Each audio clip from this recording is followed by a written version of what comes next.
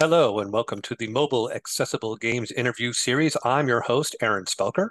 Mobile Accessible Games is a group that's focused on all things about mobile accessible gaming. And through our interview series, we interview game developers as well as accessibility influencers about the state of accessible gaming. And this week, we have a return guest in James Senter, a developer of several different accessible mobile games. He's got a new game coming out on October 10th called Pocket Reality. And we're going to spend this uh, session of interview talking to James about his new game. Uh, James, welcome back. It's great to be back. So, James, I always, as you know, like to remind people or, or introduce people to the people that are being interviewed. So, why don't we tell people a little bit about yourself and you know some of the other games that you've created that are accessible for the blind and visually impaired community? Yeah, so I have been developing iOS games for seven years now as a hobby. Um, I do computer science work as my day job. Um, my first game was Nano Empire, which I developed as an independent study in college. Um, this is a text adventure about creating your own world in an age of nanorobots. Um, it also has incremental resource management. Uh, then I made A Few Minutes of Glory, which is a real time strategy game inspired by Age of Empires, but also trying to make it as minimalist as possible. This one is also text based. Uh, then Evelyn's Farm, which is a paranormal adventure, kind of having Stephen King or Stranger Things vibes, where initially you're working on a spooky farm. And then finally, Guess the Rule, which is a logic puzzle game about finding patterns and sequences of shapes. Now, all of those games that James just mentioned have been uh, played and reviewed at the Mobile Accessible Game. So if you go to our uh, list of all of our game reviews, you should be able to find each one of those and uh, a review about the game. Uh, a few minutes of glory that James mentioned, which is a real-time strategy type of game, actually made it on the list of PocketGamer.com's 10 most influential accessible mobile games that have come out in the past 10 years. So uh, congratulations on that honor, uh, James, of creating a real-time strategy game that was uh, accessible. And, and to what you mentioned, it's kind of the compact nature of that game that makes it accessible for a blind person to play a real-time strategy game um, you know within the time constraints that real-time strategy games you know usually inflict on people so the fact that it was such a tight, compact design allowed you know a blind person to navigate that within the framework of of you know real time action.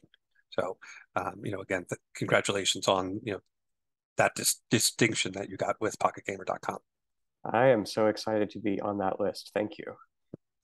But you know, we're here to talk about a new game that you have coming out called Pocket Reality. Um, so why don't you tell us, you know, a little bit about that game and and you know where the idea of that game came from? Okay, so Pocket Reality creates a new alternate reality for you every day.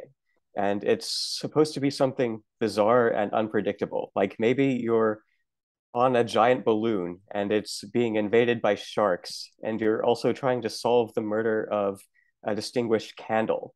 So it puts everyday objects in unusual situations. Um, it's a randomly generated story and it creates a new one every day. And, and then th- through that you know i've gotten a chance to to preview a little bit. I mean through that um, you're in this world you are deciding you know who you're going to help who you're going to betray what you're going to research what you're going to you know develop and and, and try to um, you know build out relationships and and through activities increase your own metrics that uh, that uh, help you, you know, solve missions, you know, the next day and the day after that, um, right? Yes. So the core of the game is making these skill tests, um, strength, knowledge, influence. It's kind of classic RPG stuff, but uh, sorry about the sirens. Um, every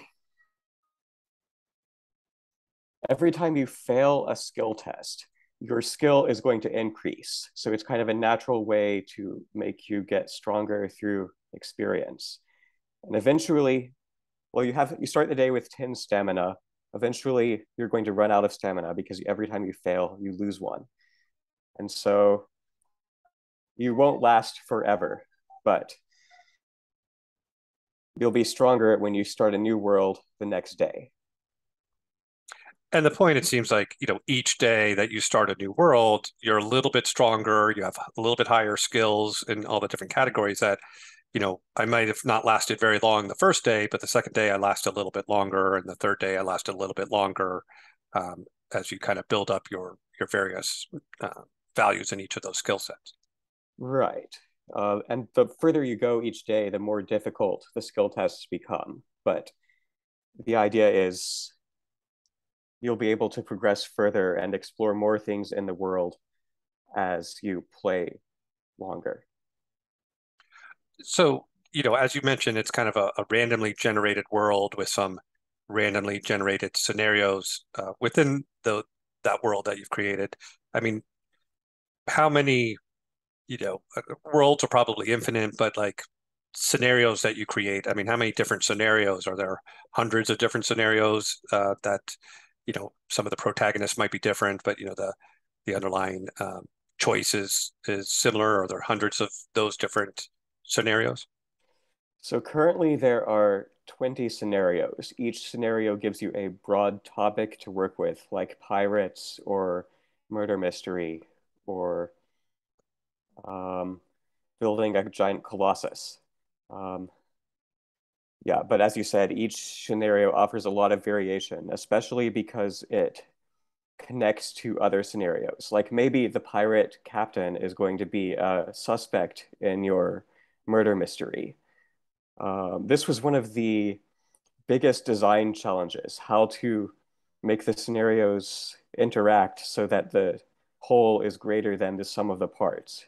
Because it would get pretty old if I just wrote some handcrafted content, and then the same content appeared day after day without variation, even if it appears randomly. Hmm. And it, you said there's kind of 20 underlying scenarios. Is is uh, you know is it going to continue to expand? You know, to 25 and 30 and 35 over time, or is 20 kind of uh, you know the set that you're going? Uh, this definitely presents the opportunity for expansions, and I have some pretty clear plans for the first expansion, which will add 10 more scenarios. Also, this allows me to make the game free because I can release this core game of 20 scenarios for free, and then I can offer paid expansions in the future. So, you know, as someone who's just starting out the game, um, you know, so you have basically 24 hours to play uh, around in a world. You know, how long do you actually, you know, on your first day, do you last 15 minutes or or half an hour? How, you know, if you kind of just sit down and play it in one sitting, how long do you expect on your first day? How long are you going to really last? When I play it, it takes about 15 minutes. So not long at all. And then, you know, by your hundredth day, how long do you think you would last? Hmm. I guess it could be up to an hour. Um, I don't want the session length to become too long because then it just drags on and on. But mm-hmm. it certainly gives you the opportunity to last longer. I've tested it with I just set my stats up to a thousand basically, and then I see how long I can last, right. and it's it's longer. So is a thousand the max that you can get on any particular stat? Uh, no, you can keep going. That's just a high number that okay. I want to test with.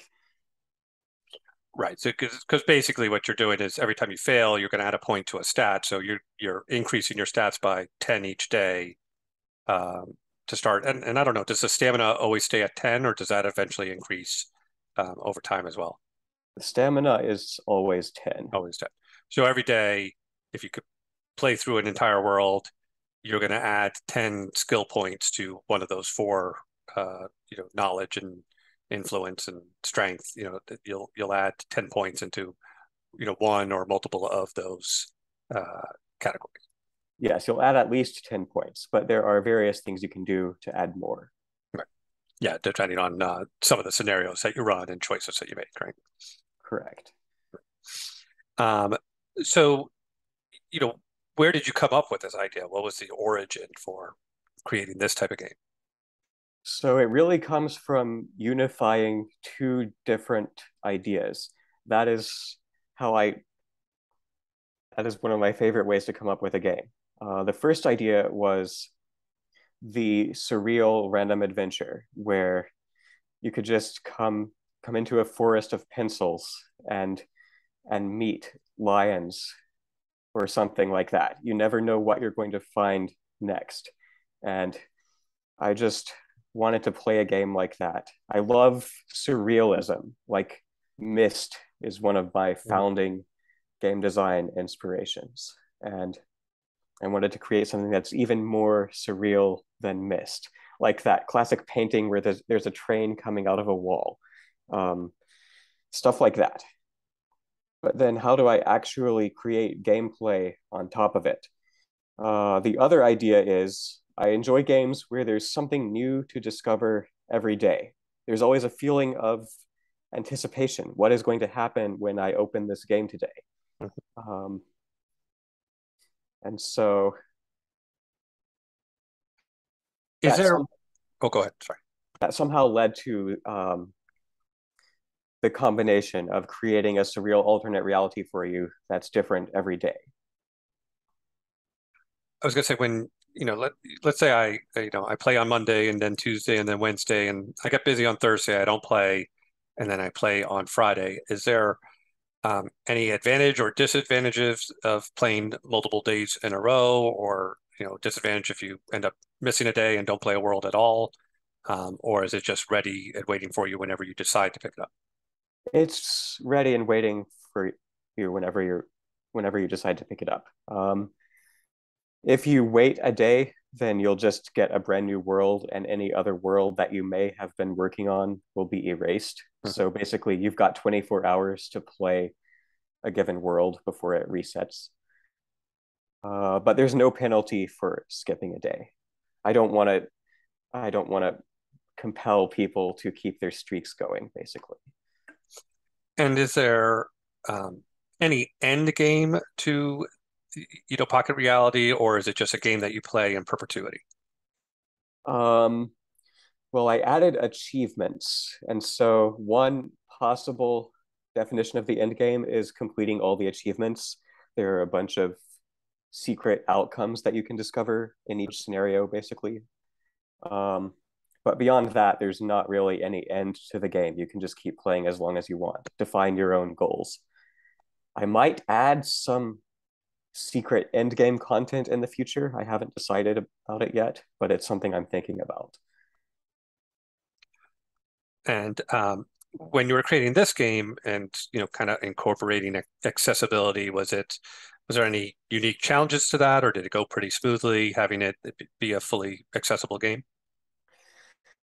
It's it's been pretty straightforward to make it accessible. Um, it is a very simple text-based game with just a text window and a few buttons. So Apple Accessibility handles that pretty well. Mm-hmm. Um, there are some bugs that I came up with. Um, I had to create kind of separate UI elements for the accessible version because it was not handling a situation that should be straightforward. It just is a thing that happens with complicated software sometimes. So, so you know, to get a little more detail in the game, you know, let's let's kind of explain to people. You you you start out, you open up the game, you enter the world, and it presents you with a scenario um, where you can decide to you know help or hinder or whatever the choice might be, um, or explore something. Um, you can decide you know not to do it at all and really um, move on to a different scenario. So there's kind of uh, tabs at the bottom that might say, you know, one of three to start. And so you have kind of start with, let's say, three scenarios, um, and you can do, you know, stuff on scenario one. And then when you're done doing stuff on scenario one and want to move on and look at scenario two, you go to scenario two and you might do some stuff on scenario two. And now that opens up um, not just three scenarios, but a fourth scenario shows up because you've taken some action and it's opened up, you know, another branch for you. So you kind of keep navigating through these tabs, making your various choices that impact other parts of the story or open up uh, new branches. I mean, is that a, a good way of kind of explaining what happens as you enter the game? Yes. So basically, each day takes the form of a collection of characters and locations. Um, you'll be exploring to unlock more and then traveling between them. And at any given time, each character or location will have some kind of request for you. Maybe they want to want you to give them a resource. I forgot to mention there is incremental resource collection over time in addition to these skill tests. Mm-hmm. Or their request will involve making a skill test and risking your stamina. So you can't really do everything. You have to make choices about which requests you want to fulfill. That's how that's how the open world aspects come in. It's a big world, but you can't do everything. You've got to decide what to focus on. And even making no choice is a choice because if you don't decide to help or hinder, still things can happen, um, or, or, or results can happen, even though you didn't intervene or make a decision. Yes, exactly. If you if somebody calls for help and you don't help them, there could be consequences. And so, you know, in, in creating this game, was that, you know, as you mentioned before, was it the interconnectedness of trying to, you know, have these different skill checks and stories, but then also have them impact other things, it, it, you know, in other parts of the world that have been created? Was it that interconnectedness that was the most difficult part of creating Pocket Reality, or was there another component that caused challenge to creating this game? Yes, this was the most difficult part. And I solved it by basically having each scenario define a set of roles that must be played by the characters and locations from another scenario. So again, uh, uh, the murder mystery has sets up roles for three different suspects, and you have to go get those suspects from other scenarios, like the pirates or the love triangle scenarios.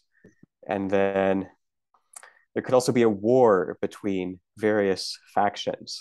Um, the factions then spill out into other scenarios. Um, yeah, so this was quite challenging it it draws from the idea of narrative Legos, which floats around in game developer circles, and it's kind of creating various elements that snap together, and so that the whole is building something that's greater than just the parts. Right. Well, you know, so again, uh, reminding people the name of the game is Pocket Reality. It comes out on Monday, October 10th.